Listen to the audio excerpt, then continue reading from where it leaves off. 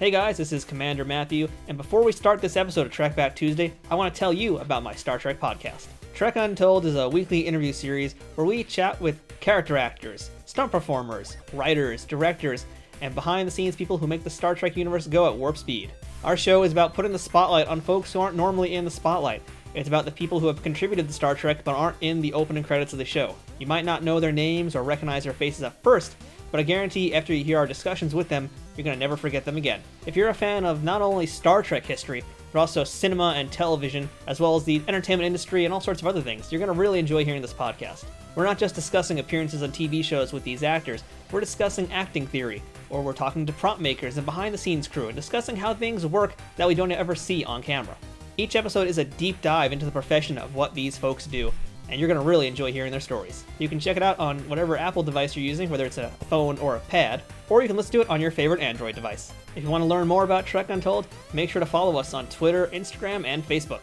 And it's available on most major podcast platforms, including iTunes, Spotify, iHeartRadio, Spreaker, and many more. Check us out this coming Thursday for our latest episode, and until then, fortune favors the bold.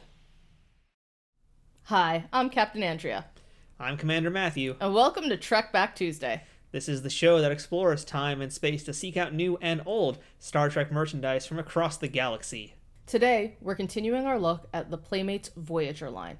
Commander Matthew, beam in who we're going to look at next. Aye, aye, Captain.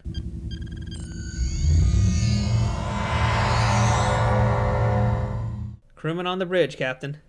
Uh, uh, I wish I knew what to say about this. Um, but we're looking at Ensign Harry Kim. Now, to be fair, at this point, this is based on season one of Voyager, so yeah, he is an ensign. If this was based on season seven, He's still an ensign. he'd still be an ensign, yeah. Yeah, that's why it's really hard to talk about him sometimes. It's just like, oh, he he he deserved a promotion. But we're here to talk about his figure, so here you go. Here's good old Harry Kim. The packaging is the same as every other Star Trek Voyager figure out there. Classic style packaging, nice view of the Voyager ship, but you've seen it before. You also get a look at that trading card he comes with and a little peek at some of his accessories. Um, on the back, you have who's in the wave, you have his accessories, and you have his bio, which for the most part isn't the most exciting, but it does mention one very important defining feature of Harry, even though it's really not. It mentions that he is a doting son who called his parents all the time. Well, I don't think Kim will be calling his parents anytime soon from the Delta Quadrant. At least not until season six or seven? Yeah, that's a heck of a collect call to make. Yeah. I wonder what the bill was like. Yikes. But on the upside, I'll say that Harry Kim is in good company because I think the only other toy to mention parents would be Worf. No, Tom Paris. Harry is one of the few Starfleet officers uh, who have bios that talk about parents. Um, there aren't many. You know, parents don't seem to really be a thing, but Worf, uh, Troi, Tom Paris, and Kim. You know, they're part of the small club that involve parents. Might be fillers, but really not many. So No. that's interesting. Parents in space. What parents in space? Exactly. Unless you count Sisko. Commander Matthew, I think Harry Kim needs some freedom. Beam him out, please. Yeah, might as well. Why not? He's here. Here we go. Poor Harry. Ensign Kim is on the deck, Captain. Thank you, Commander Matthew. So, Ensign Kim. So, Ensign Kim, you got any hot dates? Oh, right, you don't. Well, hey, hey, hey, at one point in time, especially back then, he was all about the Delaney twins. He was. He sure was. Uh, you know what? He did get some loving during He the did from a bunch of aliens who wanted to suck his essence out of him. true, and they He did want to turn the- him into their species. Oh, okay, you know what? Forget it. Poor Ensign Kim. He escaped the one group of women who wanted to have their way with him, and he was like, no, no, no. No, no. Hey, he understood consent was key. I don't think consent was the issue, is that they're going to eat his face. Well, he didn't consent to eat his face. Ah, that's fair. That's fair. So, number one question about our Ensign Kim figure does it look like Garrett Wang? No. Yeah, no, that's a flat out no. Uh, I hate to say it, but uh, no, not at all. There's absolutely nothing that looks like No. Garrett Wang. And, and you know, Yeah. case in point, point of reference, I mean, he's Asian. Yes. They got that right. Well, no, I think that is something that we need to touch upon. That is a big win. They did make him look Asian. However, they did not make him look like Garrett Wang. No. Because not all Asians look alike. Yeah, likeness, they kind of blew this one. Even the hair, I don't think they even got right. Um, the hair. like from the front a little bit, but then when you look at the sides and everything else, it's like he's it doesn't yeah, it doesn't have his it- hair. Like from no angle does this look like Garrett Wang. Not at all. Um, Garrett's face, he's a little bit more square up top, especially. So, yeah, that's not the figure. No. So unfortunately, right off the bat, not off to a good start with Ensign no, Kim. I, I appreciate the fact that they made him look Asian. That is a really important thing because there are plenty of Asian characters made by, you know, American companies, even if they outsource, that still cannot get that right. So, you know what? Kudos for making an Asian character. And I do want to mention on the back of his card as well, just to show you guys what that looks like. We get to hear what his interest is, which is clarinet. Hey, what do you got against the clarinet? That's apparently all he's interested in. No. Clarinet. No, no, no. Um, he likes holonovels. He likes reading, including Beowulf, and he sleeps wearing an eye mask because apparently that's what they need to mention. That's what's the most important thing about Ensign Kim, folks. He wears an eye mask when he sleeps, and he calls his parents. What a good little boy he is. Hey, he had a girlfriend for the longest time. The one from Canada?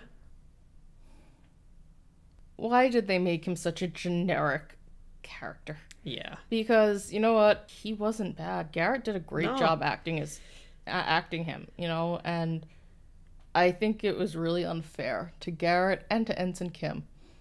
Just overall how he was treated. And even in action figure form, he still gets the shaft. Yeah, and that that's not cool, man. But he does come with some really cool accessories that I think kind of redeems him a little bit.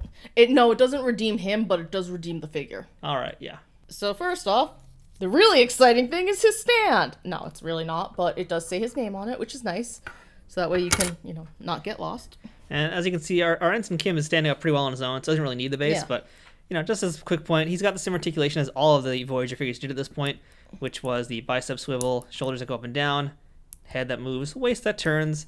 He's got the nice V joint, crotch area. like that V joint. He is quite stiff out to box. We've got the thigh swivel because that's how they can actually sit now as opposed to older figures. So, you know, you can get that nice horse stance pose. All right, that's our Kim on the base. Ensign Kim comes with a minty green phaser as well as a tricorder. We've seen these before in plenty of toys. This phaser has the beam coming out of it as well. He also comes with a field kit.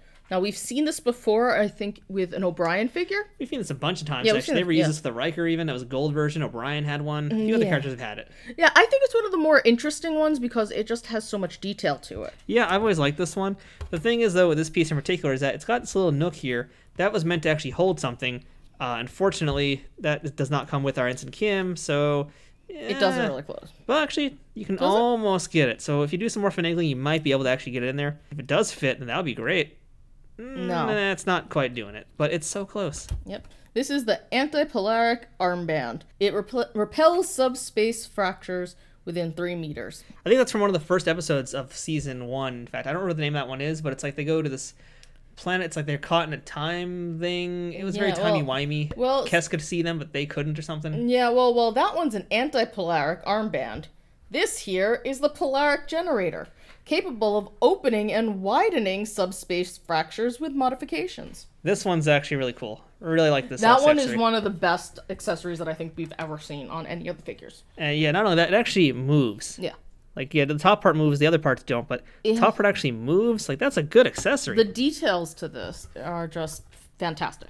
So, despite the fact that Ensign Kim's figure is not the greatest, his accessories are actually quite good. Yes. Well, I don't think one balances out the other. I really do like these accessories, so I think they're a great addition to, you know, the entire wave and all of the figures. To be honest, I mean every Playmate figure. This is just awesome.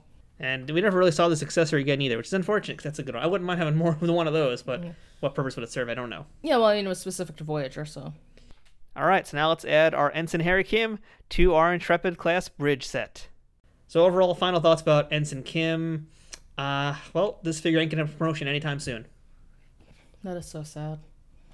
I will say this: rather than getting the tricorder or the phaser, I so would have rather he got um he got a clarinet. Yes. that, would have been made me so much happier. Why didn't they include a clarinet? That would Because have been such gave a good choice. Everything else, Yeah, clarinet though, man, that actually would have been a great accessory to have. That would have made me at least feel a little bit better about the whole face thing. Ensign Kim, you can't even hold your accessories. Jeez. Ah, poor Ensign Kim.